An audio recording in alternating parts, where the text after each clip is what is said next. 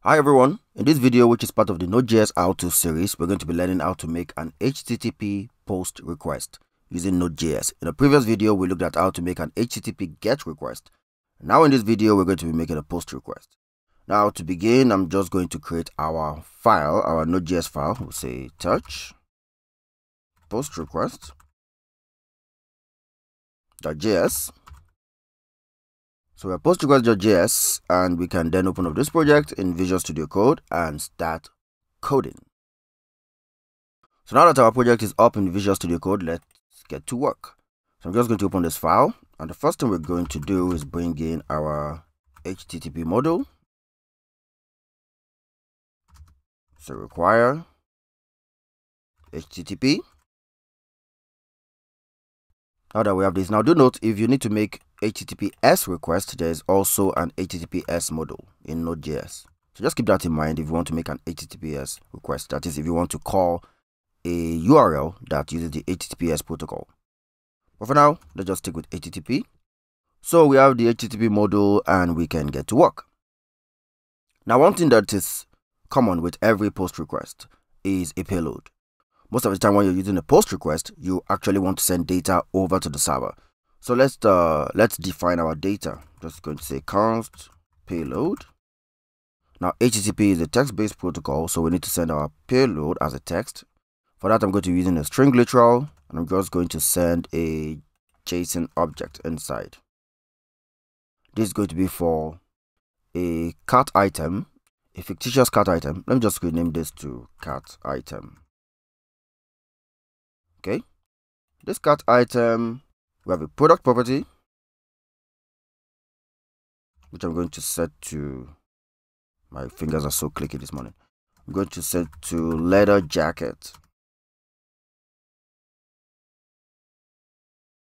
And I'm going to set a color property and say our jacket is brown. Then we set the price to something like um, $50 do not everything has to be in a string.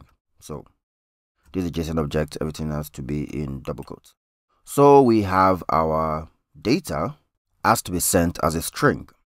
The next thing we're going to do is define some options for our post request. Now for the post request to be correctly received by the server we need to be able to communicate with to the server and the HTTP module requires some options to do that. We need to tell it the host, we need to tell it the headers we're sending, the endpoint we're going through, yada yada yada, stuff like that. So let's do that. Let's um define a post options object.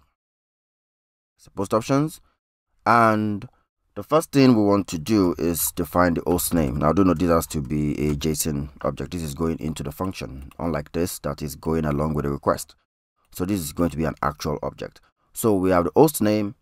And for this demonstration, I'm going to be using something called the Postman Echo server. Now, an Echo server is a very common thing.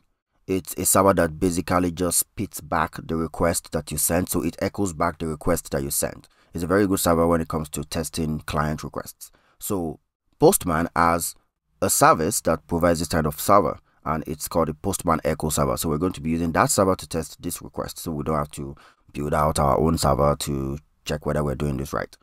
So I'm just going to say postman dash echo, that is the host name of the postman server, postman dash echo dot com.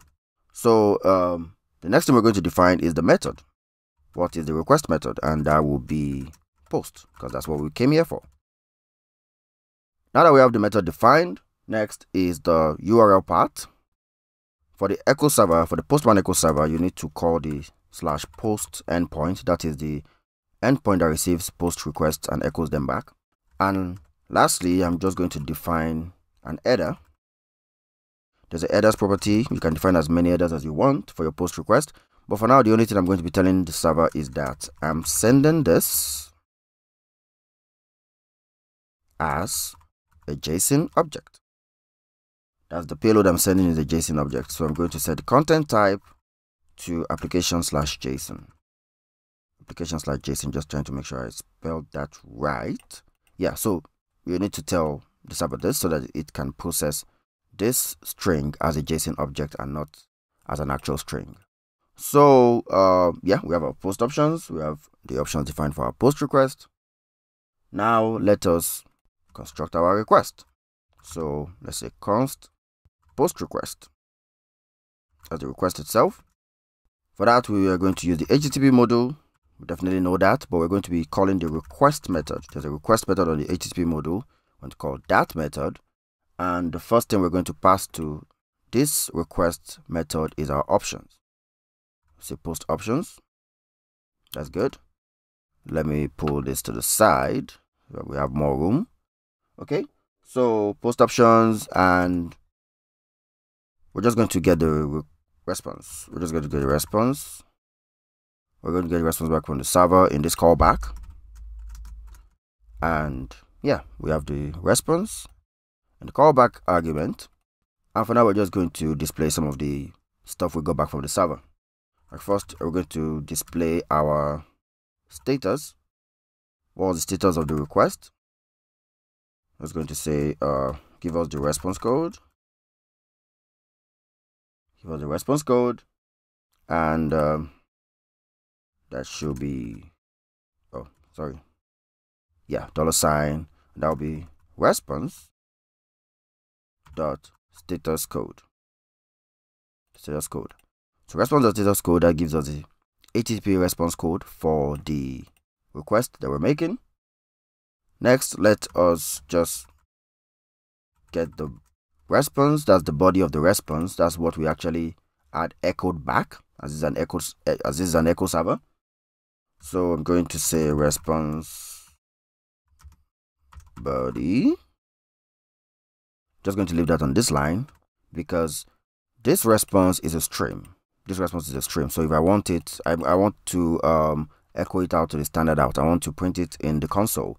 So this response is a stream. And just as we learned on how to pipe streams in a previous video in this series, we can take our response and pipe it to process dot standard out. Pass it to standard output, or rather pipe it to standard output. This is a readable stream, so you can read from it and write it into standard output. I'm just going to save that. So now that we have all this, this is our post request defined. How do we fire it? To fire our post request, we can go down here and say post request dot end end. Good. Dot end and we actually send the payload which, is our cat item. We can then send the payload. That's the data we want to send in the request. Dot cat item this also this returns a post object that you can listen on. There are some events you can listen on this post object. For example, if you want to catch errors, you can say post request and listen on or not construct sorry. You can listen on the error. Yeah it's going to allow you catch errors. But um for now i'm just going to leave this out. I'm not trying to do any error handling here. Can read up on that so let's save this and let's give it a spin. Let us fire it in our console. So here in our console, I'm going to say node post request. Now, if there are no errors, this should work. Hit enter to fire it. It's waiting for a response and boom. Response code 200. Awesome. That's good news. And response body we have all this so many stuff that was returned back but this is our actual payload returned in this data property. See um the leather jacket color brown price 50 and that's that. So in this video you've been able to see how to make an http post request using the http core module of node.js and we've been able to test it with an echo server that simply echoes back our result if you have enjoyed this video, please leave a like. And for more how-to videos on how to do stuff with Node.js, subscribe to the channel. Thanks for watching.